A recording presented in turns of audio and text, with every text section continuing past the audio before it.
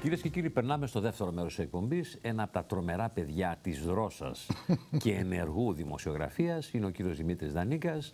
Τον βλέπετε να με διακόπτει, τον βλέπετε να κάνει πρόλογο αντεμού σε πάρα πολλές εκπομπές και αισθάνομαι ότι αισθανθήκατε κι εσείς την ανάγκη να τον γνωρίσετε καλύτερα. Μιλάω, αυτό είναι θα τα θα σας προσφέρεις. προσφέρω αυτή τη δυνατότητα απόψε.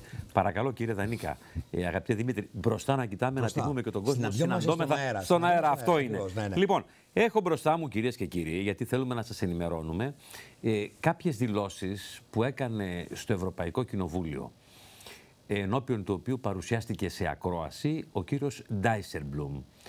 Ε, μέχρι τώρα ίσως δεν ξέρατε ότι το κόμμα του κυρίου Ντάισερμπλουμ είναι το Ολλανδικό Εργατικό Κόμμα.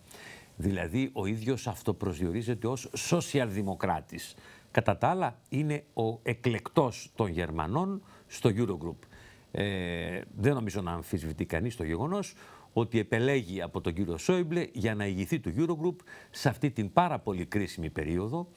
Το κόμμα του δεν ξέρουμε αν θα συμμετάσχει στην κυβέρνηση, γιατί υπέστη ήττα, έχασε. Πανολεθρία, βουλευτές, θα έλεγα. Έτσι, στις πρόσφατες Ολλανδικές εκλογές. Ο ίδιος όμως είπε ότι εγώ θα παραμείνω μέχρι τη λήξη της θητείας μου, η οποία είναι τους πρώτους μήνες, αν δεν απατώμε, του 2018, περιμένοντας να Πώς το είπε ο συγκροτηθεί. ίδιος αυτό; Το είπε, το είπε. Έχει το- ναι, πώς το λέει αυτό όμως; Ε, Προφανώς γιατί γνωρίζει ότι θα πάρει αρκετούς μήνες, θα πάρουν οι συνομιλίες για τη συγκρότηση της νέας κυβέρνησης συνασπισμού στην Ολλανδία.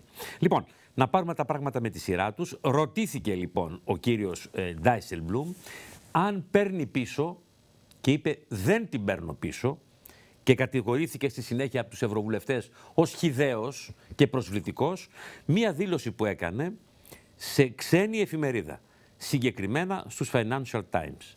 Ποια δήλωση, σας τη διαβάζω. Κατά τη διάρκεια της κρίσης του ευρώ, οι χώρες του Βορρά, είπε ο Ντάισεμπλουμ, έδειξαν αλληλεγγύη στις χώρες που επηρεάστηκαν από την κρίση. Ο σοσιαλδημοκράτης, πάντοτε μιλάει ο Γερούν Ντάισελμπλουμ, αποδίδω εξαιρετική σημασία στην αλληλεγγύη. Αλλά και αυτοί, εννοεί τους ανθρώπους από τις χώρες του Νότου, έχουν υποχρεώσεις. Δεν μπορούν να ξοδεύουν όλα τα χρήματα σε ποτά και γυναίκες και μετά να ζητούν βοήθεια. Να σου πω την αλήθεια. Λοιπόν, Αμφιβάλλεις, δεν ήταν μισό στους λεπτό, μισό Financial λεπτό, μισό Times, λεπτό. ήταν συνέντευξή του σε γερμανική εφημερίδα. Οι ευρωβουλευτές και ιδιαίτερα οι Ισπανοί ευρωβουλευτές τον κατηγόρησαν ως προσβλητικό και χιδαίο. Αρνήθηκε όμως να απολογηθεί για αυτές τις δηλώσεις και αρνήθηκε να τις πάρει πίσω. Αγαπητέ Δημήτρη, την αντίδρασή σου. Εμείς τι λέμε τώρα στα καφενεία, στους δρόμους μεταξύ μας, δεν το λέμε βέβαια στου ε, τηλεοράσεις, ότι όλα αυτά τα λεφτά ή αρκετά από αυτά που τα φάγαμε, πού φαγώθηκαν οι επιδοτήσεις; Ο Πάγκαλος το είπε, μαζί τα φάγαμε. Ναι, ο όχι, Πάγκαλος. δεν- δεν- αυτό είναι λάθος. Δεν τα φάγαμε μαζί. Ναι. Δεν τα φάγε η κοπέλα που δουλεύει στο σούπερ μάρκετ. Έτσι, μπράβο. Έτσι δεν είναι, δεν είναι Έτσι, δυνατόν. ούτε ο να είναι άνεργος. κάτι- Ούτε ο άνεργος. Ούτε ο άνεργος. Λοιπόν, αλλά τα πολλά λεφτά από τις επιδοτήσεις που φαγώθηκαν, αγαπητέ πάνω που φαγώθηκαν, για πες δεν λέμε ότι τα φάγανε στα τζιπ. να μην συνεχίσω τώρα και γίνει χαμός Ναι. στο κανάλι. Δεν είναι Μας έτσι; κόψει το Ξέρεις τι μου είπε κάποιος; ραδιοτηλεοπτικό Να σου πω- να σου πω τι συμβούλιο. μου είπε- τι μου Μπροστά, είπε- μπροστά, να μας βλέπει ο Τι μου κόσμος. είπε κάποιος, μου είπε κάποιος, ένας αξιωματούχος, Ευρωπαίος. Αυτό το είχε πει ένας αξιωματούχος Ευρωπαίο σε μένα πριν από πολύ καιρό. Ναι. Ανεπίσημα. Μου λέει Ότι τα φάγαμε στις Ρωσίδες; αυτά τα χρήματα. Γιατί αυτό λέει ο Ντάισεν. 320 δις είναι σαν να τα φάγατε, μου λέει, στα. Ναι, ναι, περίπου τέτοιο. Σαν να τα κάψατε, μου λέει, στο, στο τζάκι. Μάλιστα. Καλά, Τι να- έγινε; να ρωτήσω κάτι. Ναι. Η Ευρωπαϊκή Ένωση δεν έχει Ευρωπαϊκή Στατιστική Υπηρεσία για Να να, ελέγξει ελέγξει αυτά τα τόσα πράγματα. χρόνια Την τους έχει. προπολογισμού. Τους έλεγε και έδινε το OK. Δεν είχε άποψη. Είχε. Η Ιταλία δεν κρύβει δημόσιο χρέος, δεν δημιουργεί ελλείμματα, δεν έχει μαφία. Θέλω να πω δηλαδή ότι αυτό γινόταν μέχρι την κρίση σε πάρα πολλές ευρωπαϊκές χώρες. Και δεν ήταν μόνο οι χώρες του Νότου. Πάνω, η Ελλάδα δεν είναι ευρωπαϊκή χώρα, μισό Η λεπτό. Ελλάδα έγινε Δεν ο είναι αδύνατος κρίκος γιατί κάποιες πολιτικές ηγεσίες και εν- εννοώ το Γιώργο Παπανδρέου μας κατέστησαν στόχο. Βγήκαμε μόνοι μας στη Σέντρα, στην αναφορά όπως λέγαμε στο κέντρο εκπαίδευσης Διαφωνώ στην Τρίπολη ριζικά με αυτά και που μας λες. έβαλε όλο Μας το διαφωνώ στρατόπεδο ριζικά με αυτά που λες. στο σκόπευτο. Διαφο- Όχι, διαφωνώ ριζικά. με Διαφωνείς. αυτά. Η Για Ελλάδα πες μου δεν γιατί. έχει τις υποδομές, την κουλτούρα. Ήθελα να σε προβοκάρω λίγο. Ναι, καλά έκανες. Την, που- την κουλτούρα και τις υποδομές, το παρελθόν και την παράδοση μιας κανονικής ευρωπαϊκής χώρας. Τα στοιχεία είναι αμήλικτα. Το 52% των ελληνικών οικοκυριών, λέει το Ινστιτούτο της ΓΕΣΕ, συντηρείται από τις συντάξεις. Κάνε μια αναγωγή πάνω σε αυτό. Δηλαδή, 17 δισεκατομμύρια τόσα περίπου νομίζω δίνει το κράτος για, τα, για τις συντάξεις, πηγαίνουν στα καφενεία, στα σουβλατζίδικα και στις πιτσερίες. Ναι ή όχι; Άρα τι πρέπει Περίμενα να να τελειώσω. τα κόψουμε για να ο κόσμος εξυπηρετήσουμε. αυτός, ο κόσμος αυτός είναι ένας νεκροζώντανος οργανισμός. Έχει χαμηλή αυτοεκτίμηση που δεν δουλεύει, δεν παράγει, δεν δημιουργεί. Σκέψου το λίγο Ναι, τι ασφαλώς αυτό συνέπειες δεν είναι υγιές.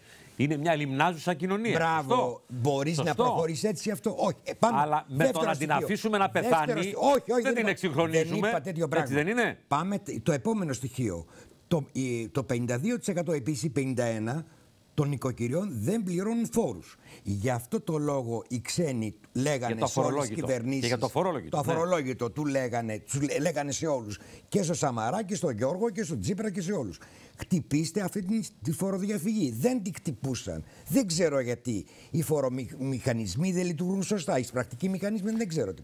Τώρα Φτάσαμε, λοιπόν, εδώ που τους φτάσαμε. λέει λοιπόν τώρα, επομένως, χαμήλωσέ το αυτό για να πάρεις λεφτά. Ναι. Δεν γίνεται ο- το 8% της Ευρώπης να, να είναι στο αφορολόγητο και το δικό μας να είναι το 52%. Και δεν γίνεται η μισή να Αυτό κρύβονται δεν πίσω είναι από το ευρωπαϊκό. αφορολόγητο, έτσι. Ναι, ευρωπαϊκό δεδομένο Ωραία. δεν είναι αυτό. Δεν υπάρχει, Υπάρχουν, λοιπόν, δεν υπάρχει αμφιβολία. Άλλο στοιχείο θα σου πω τώρα. Ότι σε πάρα Η πολλά τέτοια Ολλανδία- έχουμε ιστο- υστέρηση έναντι της υπόλοιπη Ποιος Ευρώπης. είναι ο τζίρος των αγροτικών προϊόντων, ετήσιος τζίρος της Ολλανδίας, 70 δισεκατομμύρια.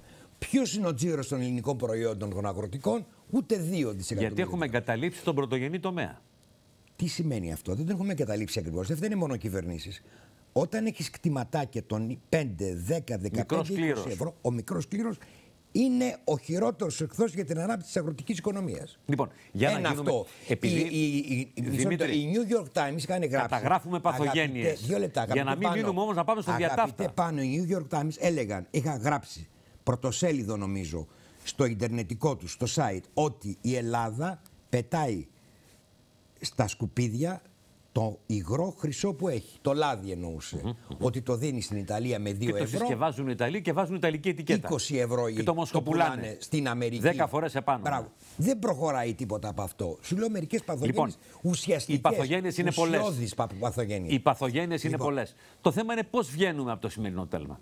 Γιατί νομίζω- και σήμερα σε τέλμα είμαστε μετά από 7 Μπράβο. χρόνια μνημονίου. Νομίζω ότι γίνεται αυτή η φοβερή περιδίνηση ότι επειδή δεν γίνονται οι βαθιές, ουσιαστικές, τολμηρές, σοκαριστικές μεταρρυθμίσεις που δεν έχουν κόστος στον Κορβανά, έχουν κόστος στην πελατεία των κομμάτων, στην πελατεία του κράτους, δικηγόροι, μηχανικοί, ε, συνδικαλιστές, δεκάδες, κρατικοδίαιτοι καπιταλίστες, ε, ενδιάμεση δηλαδή. Ναι. Ε, για αυτό το λόγο, εάν δεν γίνουν αυτές οι μεταρρυθμίσεις, η Ελλάδα δεν μπορεί να μείνει στην Ευρωζώνη.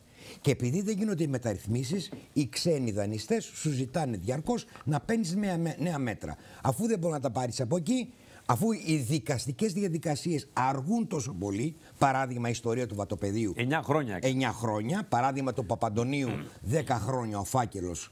Έτσι δεν είναι στα συρτάρια και χιλιάδες άλλες υποθέσεις. Λοιπόν, αναγκάζεσαι να παίρνεις τέτοια μέτρα. Αυτά τα μέτρα που χτυπάνε τις συντάξεις και τους μισθούς οδηγούν σε μια περιδίνηση προς τα κάτω. Δηλαδή η Ελλάδα φοβάμαι, μακάρι να μην γίνει, φοβάμαι θα αναγκαστεί κάποια στιγμή να φύγει από την Ευρωζώνη. Το έχω γράψει αυτό και επιμένω σε αυτό. Δεν έχει την κουλτούρα, την παράδοση, τις υποδομές να παραμένει στην Ευρωζώνη. Και πώς μπορούμε να αποφύγουμε. Αν γίνουν μόνο οι μεταρρυθμίσεις, Η δραματική- τι οποίες κανείς δεν το τις δραματικό κάνει. τέλος. Δεν τις κάνει κανείς αυτό. Αρνούνται όλοι να τις κάνουν. Και ο Σαμαράς διάβασε την έκθεση της Λαγκάρτ για σε σχέση με την τριετία διετία του Σαμαρά. Άσχημη ήταν γι' αυτό. Δεν είναι Ο έτσι. τα Τσίπρας πράγματα. τώρα, ο Και Τσίπρας- ο Τσίπρας; Δεν κάνει απολύτως Το τίποτα. λέω γιατί στο παρελθόν υπήρξε αριστερός και μάλιστα Ναι. με λόγο, με, με γραφή, με δραστηριότητα Μπράβο. κτλ. Και ο Τσίπρας δεν κάνει σχεδόν τίποτα. Ποιες Γιατί είναι οι δεν αλλαγές κάνει; που έκαναν; Πώς, πώς δηλαδή; Γιατί είναι- Στην έχει- εξουσία μεταλλάσσονται όλοι ας πούμε σε, σε Δεν είναι η εξουσία λάτρεις και τα της κόμματα. καρέκλας Θα σου πω κάτι άλλο τώρα. με, με αποτέλεσμα μηδέν στην καθημερινή πρακτική τους. Πιστεύω ότι η πολιτική, ο μέσος, ο μέσος όρος των πολιτικών, των Ελλήνων πολιτικών, που τους καθιβρίζουμε και τους λιδωρούμε, είναι καλύτερος από το μέσον όρο της κοινωνίας. Έτσι πιστεύω. Καλύτερος; Ναι. Τότε που κολλάει η υπόθεση. Κολλάει στην κοινωνία. Στην κοινωνία κολλάει. Ναι. Και στην κοινωνία που Έχει ψηφίζει- αγκυλώσεις η κοινωνία, που, που δηλαδή, ψηφίζει έχει- αυτό το πολιτικό προσωπικό. Και πώς αλλάζει Και αυτό; θα σου πω και κάτι άλλο τώρα. Εάν ήθελαν τα μέτρα, ας πάμε τα μέτρα τώρα που ζητάνε από τον Τσίπρα. Και ο Τσίπρα αρνείται, αρνείται να τα υπογράψει. Δεν ξέρω αν είναι σκηνοθετημένο αυτό ή είναι, είναι πραγματικό αυτό. Τι θα έπρεπε να γίνει κανονικά, αυτό που σου έλεγα την άλλη φορά. Και μου έλεγες εσύ ότι δεν μπορεί να είναι αδέλφια όλοι μαζί. Όχι, αλλά πρέπει να παραμερίσουν τις διαφωνίες τους και να ομονοήσουν. Τώρα, πώς θα γίνει αυτό, με ποιον πρωθυπουργό και με ποιο πολιτικό προσωπικό, δεν μπορώ να σου το πω εγώ, δεν είμαι πολιτικός, να μείνουν κλεισμένοι σε ένα γραφείο για χιλιάδες ώρες και να καταλήξουν κάπου και να πάρουν τα, μετα, τα μεταρρυθμιστικά εννοώ. Λοιπόν, αυτό δεν το κάνουν. Κατηγορεί ο ένας τον άλλον. Ο Τσιπ, ε, οι Σιριζέοι τους λέγανε Γερμανοτσολιάδες, αν είναι δυνατόν. Τσολάκογλου και Ναι, όλα αυτά, τα τραγικά και εφιαλτικά και οι άλλοι τους λένε τσογλάνια. Πώς μπορούν τα τσογλάνια ο Πάγκαλος να το συμμαχίσουν. Ο Πάγκαλος Δεν το είπε η Νέα Όχι, το είπε και ο Βενιζέλος. Περίπου. Ε, το Πασόκ, το παλιό. Το Πασόκ, ναι. Επομένως, πώς μπορούν να συμμαχίσουν, να ομονοήσουν τα τσογλάνια με τους Γερμανοτσολιάδε. Και πρόσεξε τι φοβάμαι. Φοβάμαι τους ότι. Όχι, που, τι ελπίζω. Ελπίζω η σωτηρία, μια και έχουμε 25 Μαρτίου το Σάββατο, Ναι. να προκύψει από μια νομιμαχία του Ναβαρίνου. Όταν ο, ο Ιμπραήμ κατέκυγε την Πελοπόννησο, κάνω λάθος, αγαπητέ Μάνο. κατέκυγε την Πελοπόννησο. Κατέσφαγε. Τα είχε Να κάνει έρθουν οι όλα. ξένοι δηλαδή. Ναι. Οι Έλληνες όλοι αρματολοί, κλέφτες, επαναστάτες, προύχοντες, προεστοί, έτσι, διαμήραζαν τη λία του δανείου, του αγγλικού δανείου με τις χρυσέ λίρες. Και αν δεν εμφανίζονταν τελικά άλλοι αυτοί. Να έρθουν οι ξένοι να μας σώσουν. Ναι, άλλη μυθολογία ότι εμείς τελειώσαμε. Ανθιμών. Νικήσαμε στην Επανάσταση. Δεν νικήσαμε στην Επανάσταση. Χάσαμε στην Επανάσταση, αγαπητέ πάνω. Και δεν τολμάμε να το πούμε αυτό. Γαλοχούνται γενιές επί γενεών πιστεύοντας αυτό, το- αυτό το μύθο. Ότι κερδίσαμε την. Δεν την κερδίσαμε. Και φοβάμαι και διαρκώς να πάρει το βιβλίο του Δερτιλή, του ιστορικού. Ε. Επτά πτωχεύσεις και επτά πόλεμοι, τέσσερις Ναι, είναι πόλεμοι. ενδιαφέρον. Ναι, ενδιαφέρον. Τα λέει αυτά, όλα αυτά, αυτά που σου λέω εγώ. Διαρκώς επιτοχεύσει, διαρκώς με δάνεια. Οι μεταρρυθμίσεις δεν ολοκληρώθηκαν, πετάξανε το Βενιζέλο. Για να μείνουμε λίγο στην αριστερά. Λοιπόν, επομένως, το ζήτημα λοιπόν είναι στην Ελλάδα είναι πάρα πολύ άσχημο αυτή τη στιγμή. Η κατάσταση είναι πάρα πολύ άσχημη. Η αριστερά περίμενε πάρα πολλές δεκαετίες να έρθει στην εξουσία. Ποια Λειτουργούσε- αριστερά τώρα; Δύο Ένα λεπτά, λεπτό. τώρα Όχι, ένα μπερδευόμαστε λεπτό, ένα τώρα. λεπτό, ένα λεπτό. Η αριστερά Ναι, ποια λειτουργούσε αριστερά τώρα; με ένα σύνδρομο ήττας όπως προσδιορίστηκε από το αποτέλεσμα του εμφυλίου πολέμου και βεβαίως από την ε, συνθηκολόγηση της Βάρκιζας. Α, εμφύλιος πόλεμος στο, στο, στο πρώτο στάδιο, εμφύλιος πόλεμος στο δεύτερο στάδιο, κάτω από διαφορετικές συνθήκες. Αυτό το σύνδρομο της ΣΥΤΑΣ παρακολούθησε την αριστερά για πάρα πολλές δεκαετίες. Σήμερα η αριστερά έγινε κυβέρνηση. Ε, είτε ορισμένοι το θέλουν είτε δεν το θέλουν, ο ΣΥΡΙΖΑ είναι ένα κόμμα της αριστεράς. Ο βασικός κορμός του προέρχεται από στελέχη του κουκουέ εσωτερικού που συγκρότησαν αυτό το κόμμα ως αποτέλεσμα της μεγάλης ιστορικής διάσπασης του κομμουνιστικού κινήματος στην Ελλάδα που παρακολούθησε μεταλλάξεις της αριστεράς και σε άλλες χώρες της Ευρώπης που προηγήθηκαν όπως τον ευρωκομμουνισμό στην Ιταλία και ούτω καθεξής. Το πείραμα του Πάμε Μπερλίνγκουερ πολύ πίσω τώρα, ε. και λοιπά. Όχι, πάμε πίσω για να μην αμφισβητήσει κάποιος ότι ο ΣΥΡΙΖΑ είναι αριστερό κόμμα. Αυτή είναι η αριστερά στην Ελλάδα, είτε σε ορισμένους Αυτή η αρέσει, αριστερά είτε που- δεν αρέσει. Όχι, αυτή είναι η αριστερά. αριστερά στην που Ελλάδα. περιγράφεις τώρα Ναι. είχε μπει στην- στο μηχανισμό εξουσίας. Στο Είχε είχα μπει. πει στα Μέσω- παρασκήνια μέσω, αυτό. ναι, αυτό- αυτή είναι Είχε ενδιαφέρουσα μπει. άποψη, μέσω- Είχε μπει, μα είχαν προσληφθεί Ω άνθρωποι. συντελιγέντζια, στο μηχανισμό στην της επικοινωνία, εκπαίδευσης, σε στον θέματα ακαδημαϊκό, στην επικοινων- επικοινωνία, στα Μπράβο. μίντια. Στα μίντια και στον πολιτισμό.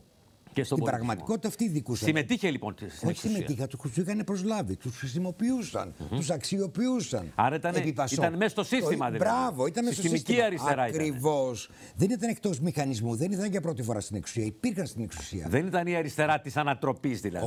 Όχι, ήταν- Ήταν εσωσυστημική αριστερά. Ήταν η, η αριστερά του συμβιβασμού. Και τι έγινε δηλαδή, του συμβιβασμού; Και με τη τι Νέα έγινε, Δημοκρατία. ήταν- Άλλαξε ο Μανολιός και... έβαλε τα ρούχα Μισό του λεπτό, αλλιώς. Και Δηλαδή; τη Νέα Δημοκρατία ήταν μέσα. Ναι. Αυτοί. Όχι όλοι, δεν εννοώ όλους. Ναι, ναι, ναι. Ένα κομμάτι. Ένα κομμάτι. Ήταν Άρα μέσα. τι έγινε, Άρα αλλαγή ήταν στο φρουράς μηχανισμό έγινε; της εξουσίας. Μπήκανε δηλαδή, φύγανε οι παλιοί, ας πούμε, και ήρθαν οι καινούργοι που ουσιαστικά Κοίταξε, είναι παλιοί, αλλά παριστάνουν το φρέσκο και το Κομμουνιστές- καινούριο; Οι κομμουνιστές, δηλαδή του ΚΚΕ, τους λένε οπορτουνιστές. Ναι, καιροσκόπους. Καιροσκόπους με λίγα λόγια. Ναι. Τώρα από εκεί πέρα βγάλει τα συμπεράσματά σου εσύ. Πάντως τους ψήφισε ο ελληνικός λαός. Τους ψήφισε. Τώρα μπορεί να τους καταψήφισε, να τους μαυρίσει από ό,τι γιατί φαίνεται. τους αλλά ψήφισε όμως; Στο παρελθόν τους ψήφισε. Γιατί τους ψήφισε όμως, γιατί είχαν νεκροκοπήσει οι προηγούμενοι. Δεν είχαν νεκροκοπήσει οι προηγούμενοι. Ποια είναι η φύση του ΣΥΡΙΖΑ σήμερα; Ρωτάω τον Δημήτρη Δανίκα που έχει κάνει διαδρομή στην αριστερά. Ο ΣΥΡΙΖΑ Εγώ τι δεν είναι; έχω κάνει διαδρομή. Είναι Ναι. στο, στο μετέωρο βήμα, είναι το μετέωρο βήμα μεταξύ μιας προσπάθειας μετασχηματισμού από ένα κόμμα της αριστεράς, της πρώην Ευρωκομμουνιστικής αριστεράς, σε ένα κόμμα της Ευρωπαϊκής Σοσιαλδημοκρατίας. Με μια αριστερίζουσα ρητορική. Αυτό είναι. Τι είναι ο ΣΥΡΙΖΑ ήταν, αυτό προσπάθησε. Γιατί έχουμε ένα κόμμα που αυτό προσδιορίζεται ως αριστερό ναι. και εφαρμόζει μια ακραία νεοφιλελεύθερη πολιτική. Περί αυτού πρόκειται. Που υπαγορεύεται από ξένα κέντρα. Αυτό επιχείρησε να κάνει ο Αλέξη Τσίπρας, αν θυμάσαι καλά, με την ιστορία της απλής αναλογικής, προσπάθησε να προσετεριστεί τη φόφη γεννηματά. Προφανώς εντός του κόμματος της φόφη γεννηματά υπήρχαν φοβερές αντιδράσεις. Ναι, ναι, ναι, ναι. ναι, ναι θα έλεγα αντιδράσεις κυρίως από τον Ευάγγελο Βενιζέλο και δεν έγινε αυτό το συνοικέσιο θα έλεγα. Γιατί εκ των πραγμάτων από τις ψήφους του ελληνικού λαού και με τα ποσοστά από τη στιγμή που παρεκκλίνει προς τη σοσιαλδημοκρατία ο Αλέξης Τσίπρας είναι ο αρχηγός της σοσιαλδημοκρατία. Έτσι δεν είναι; Της κεντρο... μιας νέας κεντροαριστεράς στην Ελλάδα. Πούμε, ας την πούμε έτσι. Άλλωστε τον καλούν στα συνεδριά τους. Πάει ως παρατηρητής. Ω παρατηρητής αυτή τη στιγμή. Οι ευρωσοσιαλιστές. Αρνούνται όμως να το δεχτούν εδώ στην, ε, στην Ελλάδα. Γενικά στην Ελλάδα αυτός ο εμφύλιος εσωτερικός πόλεμος είναι χαρακτηριστικό αυτό από τις κακοδαιμονίες της ελληνικής φυλής. Αυτό είναι το. Ο, αυτός ο αδελφοκτόνος πόλεμος, γιατί τι έχει να χωρίσει τώρα αυτή τη στιγμή; Ποιες είναι οι διαφορές; Της Νέας Δημοκρατίας από τον, από τον uh, ΣΥΡΙΖΑ. Ε, αυτό είναι μεγάλη συζήτηση. Ναι, πόσες είναι αυτές οι διαφορές; Πώς δεν υπάρχουν διαφορές; Υπάρχουν. υπάρχουν. Ε, τώρα μην υπάρχουν. Όχι, δεν τα ισοπεδώνουμε όλα, γιατί υπάρχουν, έτσι πάντα να υπάρχει ναι, δημοκρατία σωστό, σωστό. και η πολιτική έτσι. Ακυρώνουμε την έννοια της πολιτικής. Όχι, όχι, συμφωνώ μαζί σου. Υπάρχουν διαφορές. Αλλά οι ομοιότητες είναι πολύ μεγαλύτερες από, από είναι αυτές οι διαφορές. σω γιατί η χώρα είναι δέσμια. Ακριβώς. Και υποχρεούται να εφαρμόσει πρόγραμμα το οποίο υπαγορεύεται από τις δυνάμεις εκείνες που μας εποπτεύουν, που μας επιτηρούν. Πρόσεχε σενάριο. Η χώρα είναι εχμάλωτη. Ναι, ναι, ακριβώς. Όμπειρο είναι. Είναι εχμάλωτη γιατί δανείστηκε. Ναι, ναι, ναι. Πρόσεχε τώρα το σενάριο που μπορεί να συμβεί. Ο Τσίπρας τώρα ροκανίζει χρόνο. Μαζεύει χρήματα, ήδη από ό,τι ακούω, έχει 3,5 δισεκατομμύρια από το πλεόνασμα, μαζεύει λεφτά από τα ταμεία για να πληρώσει τη δόση του Ιουλίου. Mm-hmm. Δεν είναι έτσι. Τα μέτρα αυτά αν τα ψηφίσει, αν τα υπογράψει, θα ισχύσουν από το 2019. 19, ναι. Επικυβερνήσεως Μητσοτάκη. Mm-hmm. Δεν είναι έτσι. Mm-hmm.